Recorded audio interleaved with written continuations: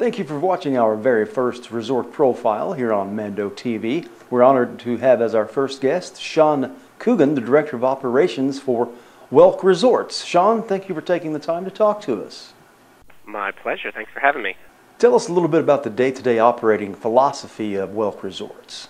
Well, uh, I like to think that we're a, a family environment company. Uh, the Welk family, it's a private company that they're um, still very hands-on, and they're always uh, expressing the importance of that at every level. So I think from the management team down to the frontline associates, uh, people have that sense of family and community when you come to work. Um, so with that, that gives you the best base foundation I find to really work closely with individuals, uh, find out if they have any challenges throughout the day, try and be troubleshooting with them instead of just delegating it off to somebody else. So we really work closely together as a team.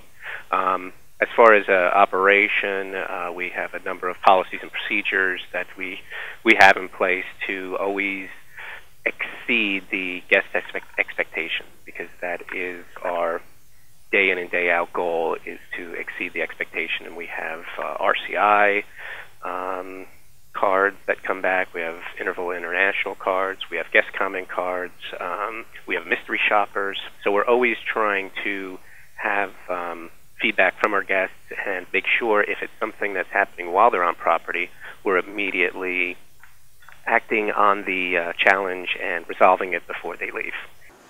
And of course, the busy season is here and the economy is struggling, to put it mildly. How is the economic situation affecting your day to day operations? Well, we are definitely feeling it more in the amenities. Our, our theater, we have live theater, we have uh, two golf courses, we have a restaurant, we have Galleria. So the, the impact there is is more substantial than our actual room occupancy. Uh, our occupancy continues to be high, which shows that people are still into dedicated to their vacation, which is great. I think what's happening though is they're not doing as outside of that. They're they're going to the pools, they're in the villas, and they are um, enjoying the, the grounds. But to spend the money at the theater and the golf course is what we're not uh, finding. So we're trying to find effective ways to package things to entice them into these areas. We're adding some some comedy magic and some alley cats events that are a little bit more affordable for the families. The big buzzword, of course, now is green. Can you talk about your green efforts? Green, yes. We are um, just starting to branch out. This is uh, important for us as well. We have a uh, recycle program in place throughout the property um, that we invite our guests to recycle and reuse.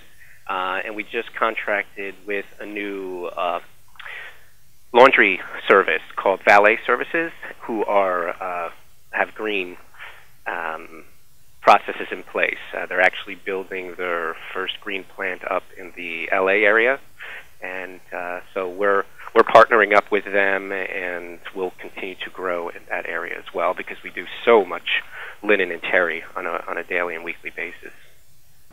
Sean Coogan, Director of Operations for Welk Resorts, thanks again for your time. We certainly do appreciate it. Sure, thanks for having me. And thank you for watching Resort Profile here on Mando TV.